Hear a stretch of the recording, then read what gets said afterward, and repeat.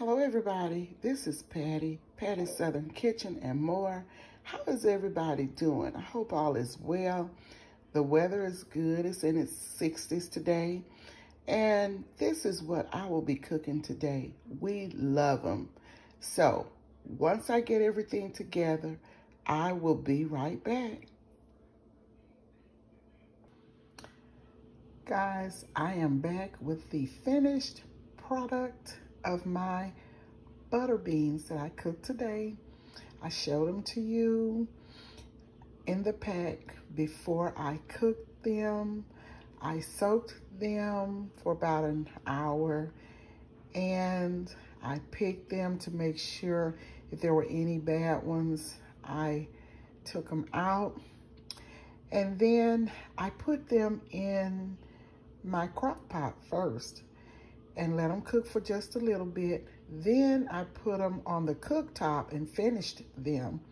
And the seasonings that I used were the spices, Creole seasoning without salt. I used that. Tony Chachere's. I used some a little bit of garlic powder, a little bit of onion powder, and I used some white pepper. And here it is. I used, used some sweet peppers, cut them up, and onions, parsley, and I put a little bit of bouillon and it's the kind that's in the little jar. And I can't think of the name of it right now but anyway I used a little bit of that about a teaspoon. And guys I did not even put any meat in them just put a little bit of that chicken bouillon in it. And I cooked them and this is what I have here.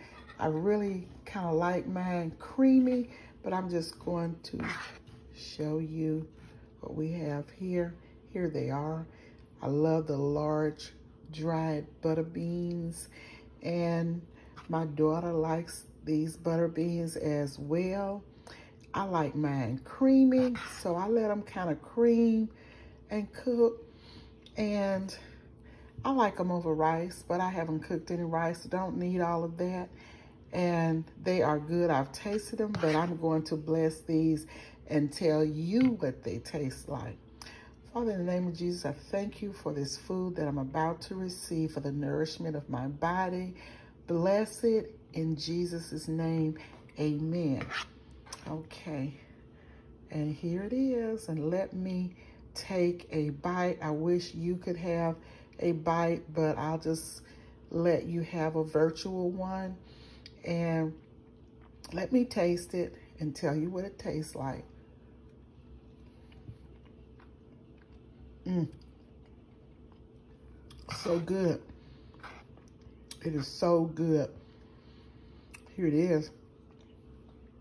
Creamy. Mmm, mmm. So good. And they would be even better on over rice. Mm.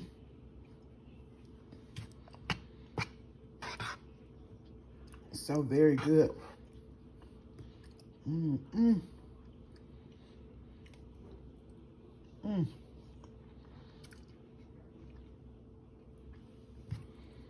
If you like these large dried butter beans. And the brand that I like is Camellia brand. They are so good. Mm -mm. So, so good.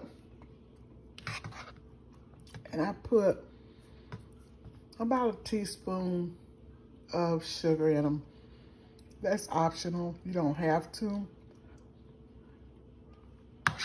but no meat, all I have in them